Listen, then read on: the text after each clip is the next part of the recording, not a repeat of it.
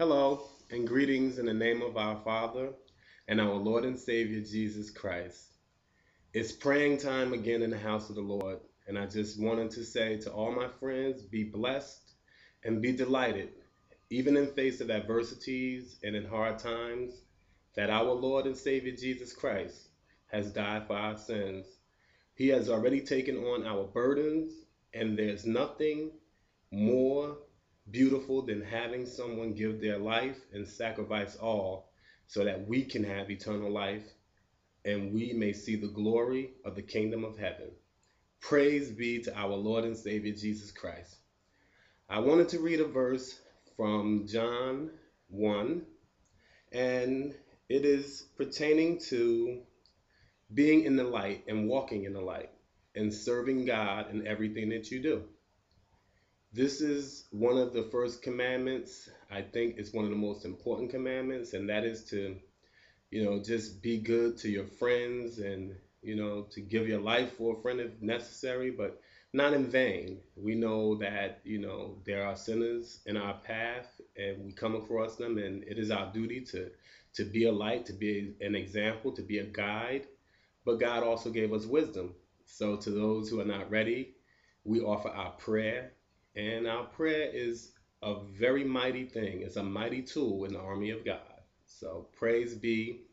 And let me read this verse before I pray, because I have a few prayer requests that definitely, you know, we should always pray and just give each other the glory because God gave us his life. And if we serve him, he is a glorious God and we give him all the glory. But we also pay homage to those who are saints, those who do the work of God, you know. So let us take from the chapter of John, the first epistle, and we're going to read from verses 5. This is the message which we have heard from him who declared to you that God is light, and in him there is no darkness at all. If we say that we have fellowship with him and walk in darkness, we lie and do not practice the truth. If we walk in the light as he is in the light, we have fellowship with one another. And the blood of Jesus Christ, the Son, cleanses us from all sin. If we say we have no sin, we deceive ourselves, and the truth is not in us. If we confess our sins, he is faithful and just to forgive us our sins and to cleanse us from all unrighteousness. If we say that we have not sinned, we make a liar, we make him a liar, and his word is not in us. My little children, these things I write to you, so that you may not sin. And if anyone sins, we have an advocate with the Father, Jesus Christ, the righteous. We know that when we walk with God and we serve God and we give ourselves to God, when we present ourselves as a temple and our body, you know, is cleansed and we not do things that go against God's word, that we are basically walking in the light and there's no shame in us. But we are human and we are subject to error. When these errors occur, and they will occur, we should promptly pray. Ask others to pray for us, pray, you know, on, on the behalf of others, and just give God the glory and just basically be a support to all of our fellow Christians and brothers and show love because love is the greatest tool that can conquer any evil. It can turn an enemy into a friend. With that said, I will pray now for my friends and make intercession on your behalf and just let the Holy Spirit move us in the direction that it would have us move. Amen? Because the Holy Spirit is within us who walk with Christ. Hallelujah. Dear Lord, I come to you today just a humble servant. Oh, Heavenly Father, willing to submit myself and my life towards you.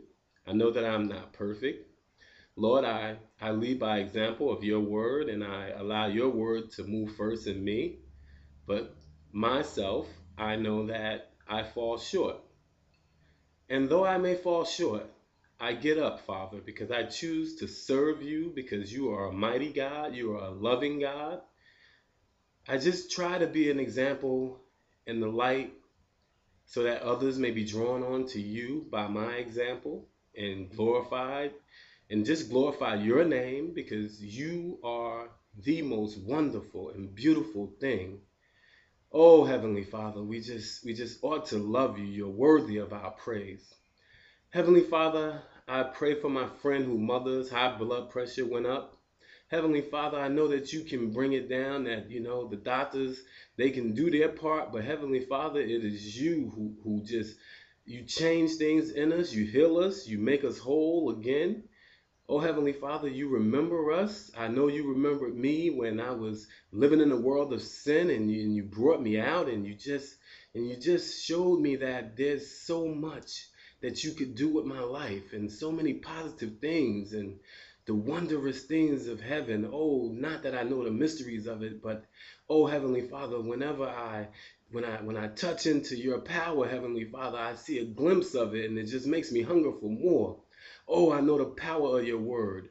Oh, Heavenly Father, my friend Duchess, Heavenly Father, just just show her, Heavenly Father, that there is that you are leading the way and that her move will be a peaceful one. Oh heavenly father will be a productive one. You will allow her to to have life and have it abundantly and you will just go before her heavenly father. Oh take away all doubt all nervousness and that heavenly father.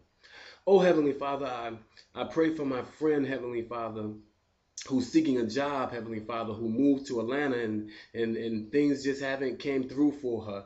Oh, Heavenly Father, that job is there for her, Heavenly Father, and you know exactly where it's at. And I'm, I'm, I'm praying, Heavenly Father, that the Holy Spirit will come down right now and touch her and start to make intercession for Heavenly Father and lead her to that job. Oh, Heavenly Father, there are sick and suffering children out here, Heavenly Father. We're in a, a, recession and, and, and many people are losing their jobs and their homes, Heavenly Father. But you're a mighty God, Heavenly Father. You can move mountains. Oh, Heavenly Father, I praise your heavenly and holy name and I pray that you will step in, oh, Heavenly Father, and intercede for them and just make things more positive for them this this holiday season, Heavenly Father. And I pray that that we as Christians, Heavenly Father, will do our charity, Heavenly Father, that we will that we will seek to help someone, Heavenly Father, that we will not just just sit down and, and say that's too bad, that's a shame, but get up, Heavenly Father. Oh, let the Spirit move us, Heavenly Father. Let Him show us what we should do. Let Him show us where we should help other people. Oh, Heavenly Father, let us be let us walk in Jesus' image, Heavenly Father. Let us be imitators of Christ, Heavenly Father. He did not turn anyone away, Heavenly Father. Oh, Heavenly Father, let us recognize that sinners have souls too, and that sinners should be prayed for. Oh, Heavenly Father, that our prayer can change them, Father, that had, that once we were sinners, Heavenly Father, and you showed us mercy. So let us let us be the imitators of Christ and show mercy to others. Oh, Heavenly Father, for my friend who mother Oh, Heavenly Father has cancer. Oh, Heavenly Father, I pray that you will put that cancer in remission, Heavenly Father, and then that you will just annihilate it, that it will not exist in her body. Oh, Heavenly Father, we know that you can go inside us, that you can heal us, that you can remove all negative things inside us. Oh, Heavenly Father, we know they're nothing but demons, Heavenly Father. Cancers, addiction. Oh, Heavenly Father, take these demons and, and just rid us of them, Heavenly Father. Oh, Heavenly Father, and we pray for the saints. Oh, we give greetings in Jesus Christ's name. Oh, Heavenly Father, let us have mercy. Let mercy be bestowed upon us that we may show mercy to others, Heavenly Father, because we are tools in your mighty army. And when we walk in the light, we glorify you. And let us glorify you. Amen. Hallelujah. In my Jesus' name. I pray this prayer and I have all faith that it is already done. So I thank you in advance, my Lord, my Savior. Wow. Praying for God is such a wonderful thing, and it is one of the most beautiful things that we can do. God is good, God is love, God is peace. So may peace be in your life. May happiness and joy follow you throughout this holiday season. And may the Lord Jesus bless you and you serve him all the days of your life. In Jesus' name, I close this prayer with a mighty amen, hallelujah,